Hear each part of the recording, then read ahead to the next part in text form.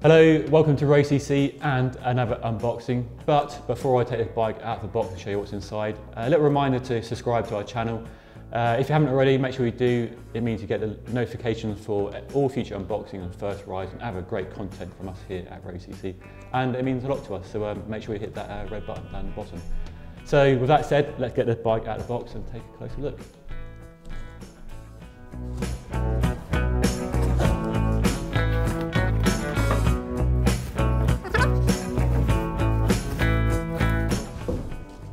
You an idea of what's inside.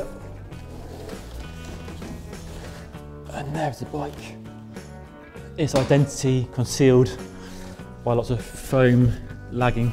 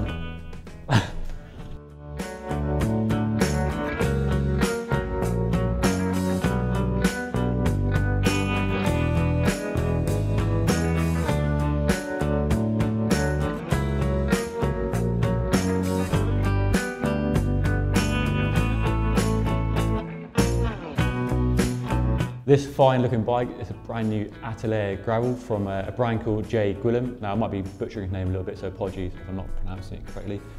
So the guy who founded this company actually founded Van Nicholas many years ago and he's, um, now residing in Mallorca and producing a small range of titanium bikes. He only works with titanium because that's really his expertise and where his passion for road bikes lie. So um, most of the bikes he produced until now have been road bikes and they've been inspired by the, the landscape and the roads of his, uh, his new home in Mallorca. There's also plenty of gravel riding on Mallorca and this is his latest model, an all new gravel bike. And it looks to tick a lot of boxes that we look for in a gravel bike. So I'll just talk you through some of the key details that make the bike really stand out. So first, let's pay close attention to the frame. Uh, titanium is a really popular material. It's still jolly expensive, but it's a lot cheaper and more affordable than it used to be kind of 10, 20 years ago.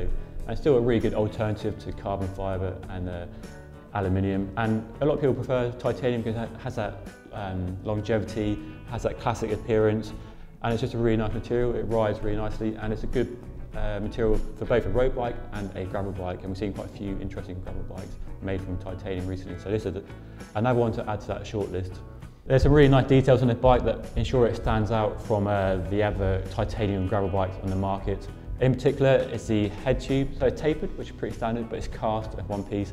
And the cable entry point is actually part of that casting. So rather than drill the frame for the internal cable routing, they've made the cable routing part of the frame, so it's integral. And the rear gear cable actually goes inside the head tube, right down the down tube, through the chainstay and out uh, near the dropout there. The dropouts while we're here, they're also cast uh, one piece. Um, 12 millimeter through axle and flat mount, really nicely done. You can see they've got little fender mounts or mudguard mounts uh, which can be removed if you want to you know, lighten it for summer use or fit them for uh, winter use. Another really nice detail, one of the, probably the standout details of the bike, but it's kind of hidden away a little bit, is the, uh, the chainstay yoke. So the bottom bracket and this um, yoke, which they call it there, is cast with one piece. And the idea there is to provide maximum tyre clearance and chainring clearance.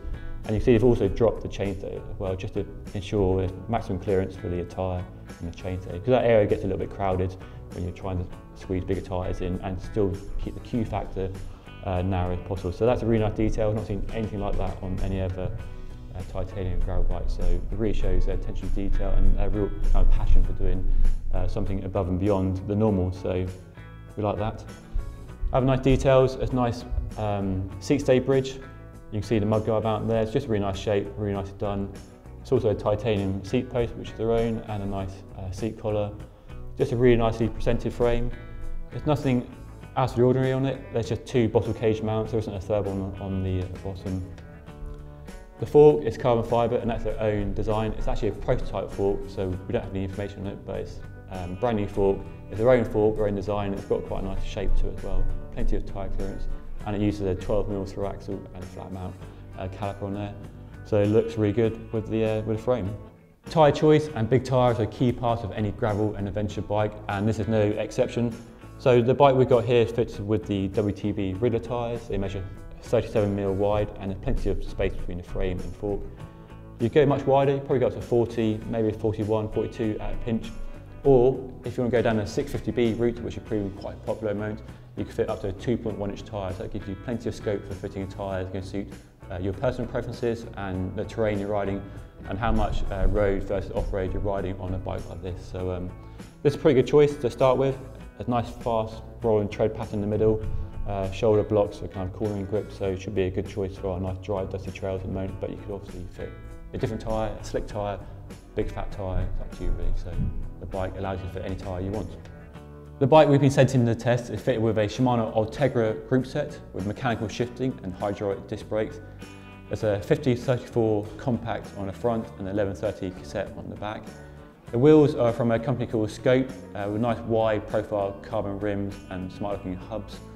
And the finishing kit, so that's handlebar, stem, seat post and saddle, are all from the company's own brand. And as I mentioned, there's a titanium seat post which looks very nice with the frame, but a black aluminium stem and a handlebar.